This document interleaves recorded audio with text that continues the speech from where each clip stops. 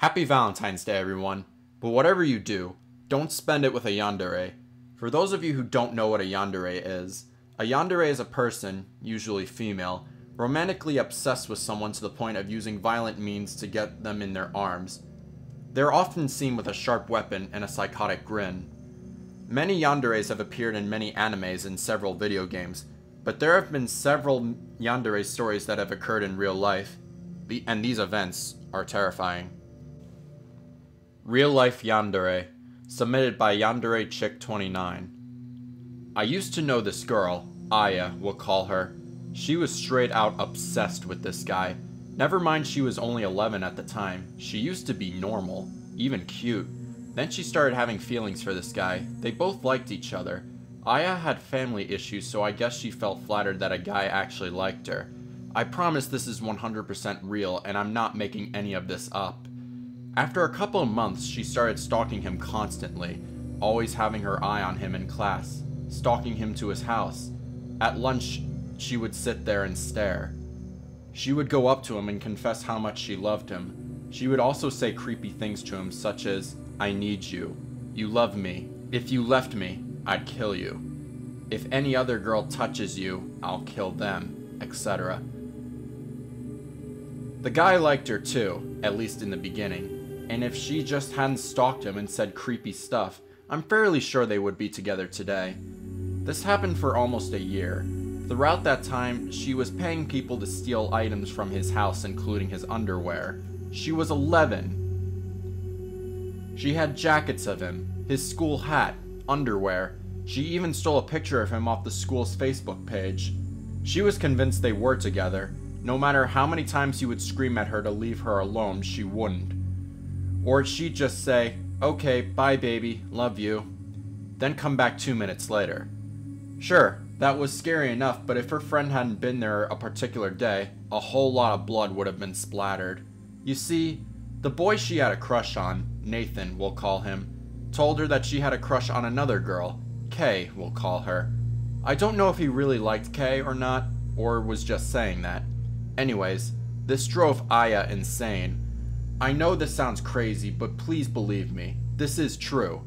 But I just got done from the restroom as I head over to the conversation. I saw Aya with a knife in her hands, only a day after Nathan had told her that he liked Kay. Aya's eyes seemed to have completely blanked the life in it and just disappeared from her eyes. It was after school, and most of the kids have left. I know Kay stays after school, but could she really lost her mind that much to the point where she could actually kill someone? Call me a coward, but I wasn't going to stick around to see what would happen uh, if one of Aya's friends would come. Aya, what's that? Her friend said in shock. Aya turned around and some life came back into her eyes. I don't know. She tripped on a rock, but she fell onto the ground with the knife still in her hands. It wasn't a butter knife either. One stab with that knife could have easily killed you.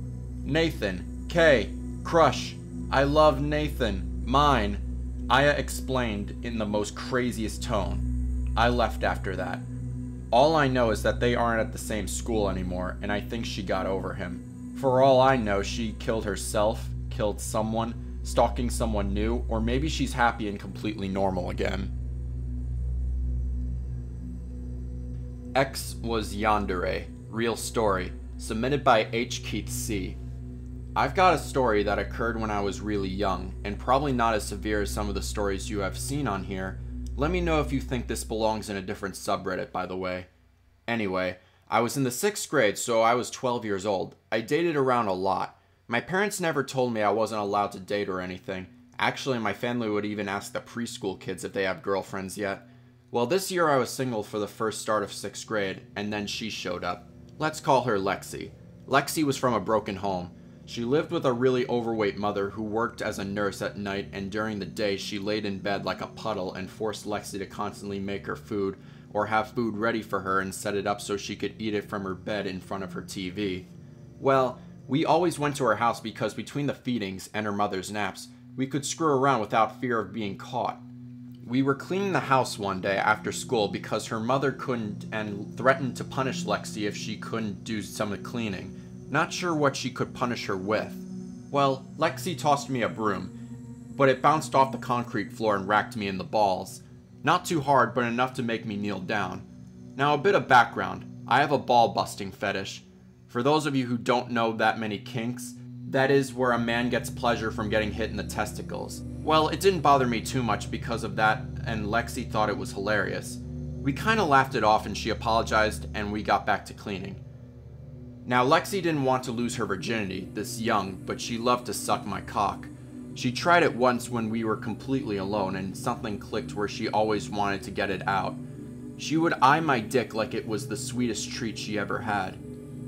Sorry if the age thing bothers you. When I think back to this story, I envision myself and her as adults, so it's not that repulsive for that reason. Kids will be kids. Well, I was lying back on her bed one day while she was down there, and I heard her whale lord of a mother meandering around her bedroom. It surprised me because she never gets up without Lexi's help. Even for the restroom, Lexi has to be her support and walk her to and from the bathroom door. I was so terrified she was coming to check in on us, and I kept sitting up to see. Lexi continually told me to lie down. I told her my fear, and she simply told me to shut up and relax before I got myself in trouble. Trouble? We would get in trouble if we were caught. I lied back down, but soon enough she heard a sound and shot up, expecting to see her mother at the doorway. There was nothing there. When I felt a sharp pain jolt into my system as she'd gone down, sucked my balls to her molars and bit down. It racked my brain and I wasn't ready for it at all, nor did it feel good. I think she had just took it so much further than what my limits were at the time. I was really nervous about having her down there, of course, and made sure that on, on the occasions where things got so heated that I would lie back and not move. As time went on, she became a lot more attached to me, always following me around and texting me and wanting to see me after school as much as she could. She started asking about my friends, who were all women, but she didn't seem bothered. Fast forward to watching LOTR at her house, and I told her about a funny story with my friends. I told I was just up talking about the girls, and I had said, and Brooke being the pretty girl, meaning she was not a tomboy like the majority of my friends, I felt Lexi's knee rocket into my balls before I could even finish my thought. This started a downhill slope of her becoming a monster. She started using my balls against me in private. If she couldn't get a shot in, she would simply wrestle with me or hit elsewhere until an opening appeared. She would get her hands down my pants and grab a hold of them and squeeze hard, ask for oral or other sexual acts. Most of the time she wanted to perform, but she could keep a firm but painless girl on my spuds. Now I wasn't afraid of her in general. She was still mostly the sweet girl I loved, but this darker side of her in private was driving a stake between us. I would have never used force or laid a hand on her though. I was raised better than that, and I knew I could seriously hurt her if I ever used brute force on her. My breaking point was actually due to my friends. We were all having a good time at the school football game, and I was starting getting texts. Who are those sluts? Why are you so close to that bitch in the purple? Why does that whore on the left keep smiling at you? I couldn't see her anywhere. Actually, I'm pretty sure she wasn't there because I had invited her to go, but her mom needed her at home. I still don't know where she was. She had images of me with the girls, though because she was sending them to me. I told her that they were all my friends, not sluts. Don't call them sluts. Whatever. I need to talk to you at my house after school Monday. I took my opportunity. I told her I wanted to end things, and I was not happy when she was smothering me. I knew that was coming, she responded. I hope you fucking die. Not hope, I wish you die. I actually want to watch. I want to be the one to kill you. She continued to send me death threats all weekend asking me stuff like what I would like to be buried in, if I would rather be stabbed or beaten, if I thought her mom's truck would be enough to kill me, and sometimes she would just send me, die, die, die, die, die, and my little flip phone would load five or more pages of it at a time. Come Monday, she started attacking me in the halls, grabbing my throat and choking me, stabbing her nails into my neck or cutting me with pencils, pens deep enough to bleed. I just toughened it out until later that week. I was talking to the girl I mentioned earlier, Brooke, when I suddenly fell asleep. I woke up in the nurse's office, but I wasn't in any pain. Apparently, Lexi had ran down the halls and kicked me full force in the balls, and I was out before my feet left the ground. When I touched the ground again, I crumbled like a doll. Brooke had helped me to the office with some help from a guy friend of mine who was nearby. Lexi ran away, but a teacher called her over. She yelled, fuck you, and kept going. She was expelled for a week, and my mother finally learned what was happening, and she put a bounty out on Lexi. No one took it, but she advertised $100 for anyone who would cause physical damage to Lexi. After a week, me and Brooke began dating, and all hell broke loose. Lexi has gone nuts. She kept attacking me more frequently, and I tried to stay near authority figures. After school one day, I was walking Brooke out to my mom's truck and Lexi came running down the hall. I know I said I don't hit women, but I didn't want any harm to Brooke. I intercepted Lexi with a shoulder led tackle and pinned her to the wall so Brooke could run. Lexi scratched and kneed me until she slipped free. Then Brooke jumped on her and started flailing and landing some hard hits on Lexi's face. The vice principal intercepted it and expelled Brooke and Lexi for one week. Brooke got into my mom's truck and, and we told her about what had happened. My mom was pretty pissed, but she was happy Brooke actually used force on the girl and gave her the $100 she was keeping in her purse. After that, my mom campaigned for Lexi to be kept out of our public schools. The school couldn't do that, but what they could do was put her in special ed classes that were adjacent to the schools. She would stay in the special education until she graduated junior high and high school, so her and I would never be in the same building together. She eventually got worn down with being in alternate education and having a target painted on her back. She moved off to live with her father and now has a home of his own and treated her better than her mom. I haven't seen this girl since, and I'm thankful for that. It was August, the first day of my first year of high school. I really hated primary school. I was bullied a lot and I had few friends. In my class were completely new people I had never met, other than one of my friends, Kate. We were close, but we never had attraction for each other, which is apparently rare for a boy girl friendship. I was shy at first, but I had managed to make new friends once I began participating in clubs such as football and music. I favored music as I could play a wide range of instruments such as guitar, piano, drums, violin, and even singing. There was always a girl in the music club. I'll refer to her as Miku. I'll keep her identity hidden since I don't want to find out what happened if she ever found out about this. Miku was always at the club, but she never spoke. Whenever anyone spoke to her, which seemed rare, she only nodded or shook her head. She always seemed to be at the back of class playing a keyboard. One day at the club, I decided to practice the piano. I noticed Miku happened to be staring at me. Other people were looking, but she seemed to be staring into my eyes. The weirdest thing about it, the thing which creeped me out the most, she seemed to have no emotion, inside or out. After a few years of school, I was now in year 11. I kept my routine of visiting the music club, but I dropped football the year before. I had become popular amongst females, and many gained crushes on me. I managed to get a girlfriend. I had asked out a girl from my English class, and she accepted my confession. Amy began coming along to my music club with me. She even tried out several instruments. I also noticed that the time Miku always gave me a sorrowful glances as if she were to break down and cry at any minute.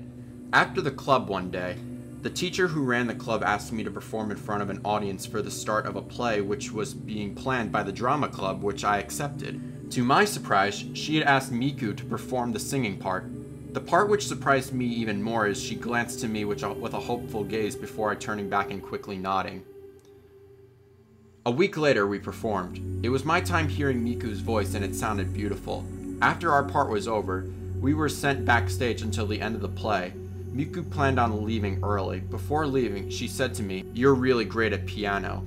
Amy is so lucky. She left after that, but I noticed how sad she seemed with a slight tone of hatred when she spoke in Amy's name.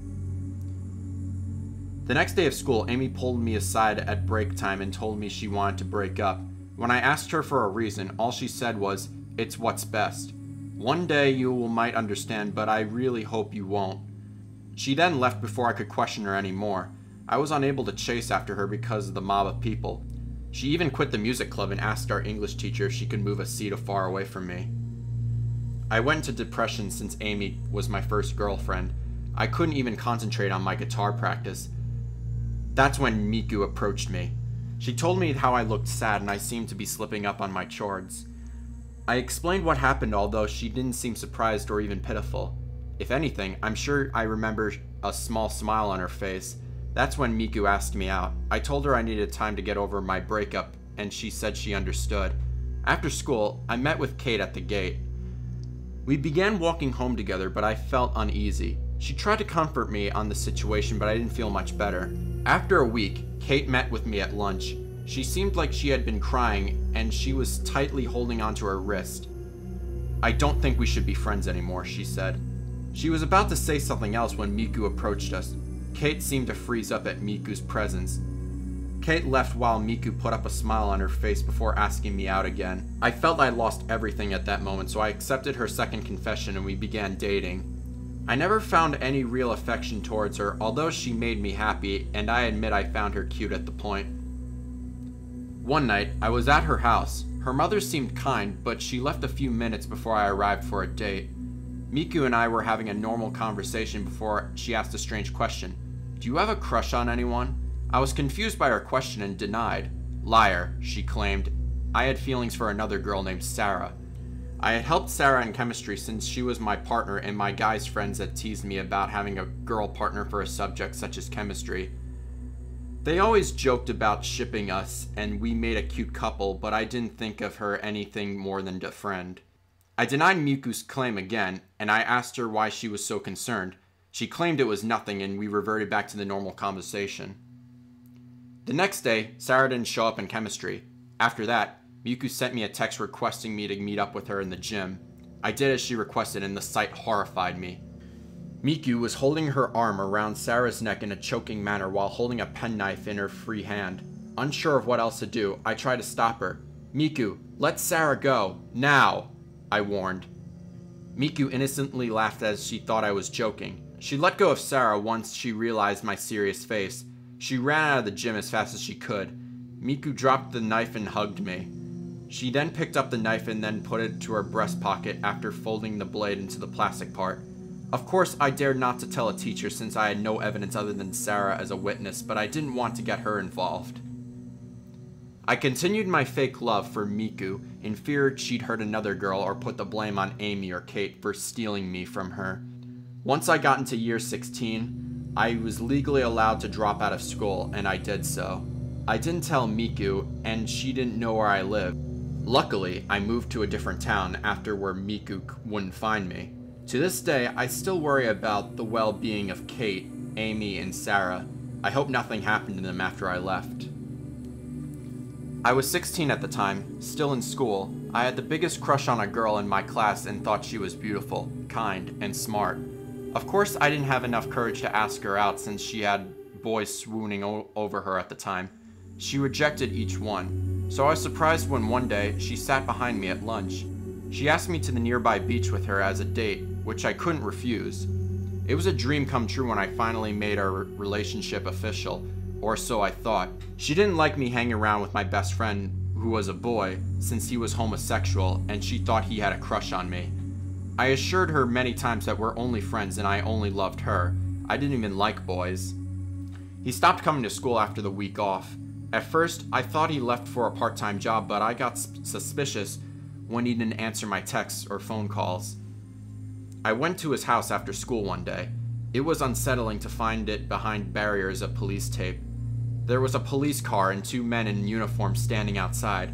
I questioned them what was going on, which stated as a private matter. I demanded an answer, but they wouldn't tell me. Despite their warning, I stubbornly waited until another two men in uniform dragged a red haired girl outside by her arms. My eyes widened. She struggled and screamed before looking up in means of escape. When her eyes met mine, her once bright eyes that I had fallen for had turned dull as they began to water. She dropped her head in shame, avoiding my stare. One man pushed me aside while the others pushed her into the car. I'll come back, so don't run off with a slut or she'll die too, she spoke quietly. As if only I could hear. Before I could respond, the car door was slammed. The car sped away. Moments before an ambulance came around the corner, two medics ran into the house. I remained in the same spot, refusing to move. I wish I had moved. Laying on a board, pale face, dead eyes, the blood escaped from multiple wounds as my best friend's chest. He died, and all I could do was watch as he lost his life. He lost his life because of her. If she comes back for me, I'll kill her myself. When I was 15, I wished so badly for a boyfriend. I never had one before while all my friends seemed to have dates all the time. I couldn't gain a crush on anyone since most of the boys in my year bullied me because I was too shy. They said I was a waste because I was good looking but too shy to do anything about it. They always accused me of having a heart on my sleeve. One day, after chemistry class, a tall blonde boy approached me. I'll refer to him as Matt throughout this. He asked me to date him, which left me speechless and slightly flustered. I'll give you time to think about it, he said as he smiled, writing on a piece of paper. Once he had finished, he handed me the paper. That's my number. Text me your answer, cutie. He winked as he spoke the nickname. Matt left the room, leaving me to think of a reason why he would ask me out. That night, I texted him with a simple yes and smiled to myself. He quietly replied with, Great, let's go on a date tomorrow. I simply replied with, Sure, and decided to fall asleep. I regret saying yes. Matt and I dated for six months. Around that time, a new boy joined the school. I had never felt real affection for Matt, although I was thankful for him boosting my confidence and asking me out. I soon did gain a crush on the new boy, and to my surprise, he began to hang out with me. One night, I went to Matt's house to break up with him gently. I told him now that I've gained affections for another boy that we should just be friends. Of course, I expect Matt to be upset, but I was surprised when he reached for a pair of scissors from his desk and stabbed them into my hip. The pain was unbearable, as the crimson liquid soaked my shirt. He cut my hair short and removed my shirt. He kept the hair strands together using a clip before placing it in a bag. He smelled my blood soaked shirt before also placing that in my bag. I'll kill the boy and then leave. But if you don't die, I'll be back.